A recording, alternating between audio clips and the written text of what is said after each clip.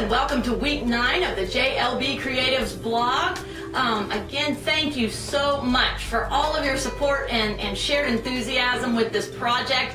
It is getting closer. We're still going through the um, the absolute final round of corrections, so it's getting really exciting.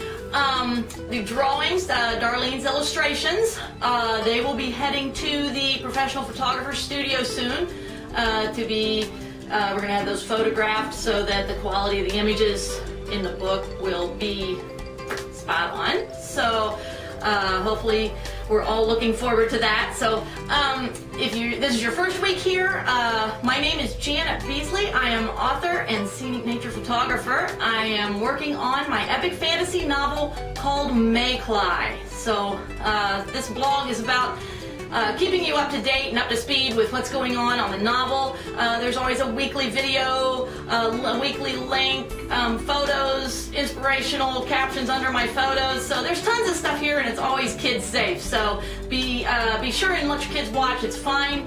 Uh, also, be sure and share this with your friends and family, so that I've got plenty of good things to uh, to submit uh, to a publisher if we do go with a publisher. So, all right, this week we are going to play the comment game again, and we're going to talk about the very evil bad guys, the villains.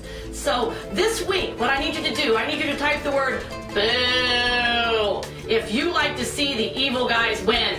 Boo! Okay, so if you if you love villains and you like to see a villain win, just type the word boo there in the comment box and type the word yay if you'd like to see the uh, the evil villain defeated. So if you're on the good side, give me a yay, and if you're on the bad side, give me a boo. So that should be some fun. Look forward to reading your comments. Again, thank you, and we'll see you week 10.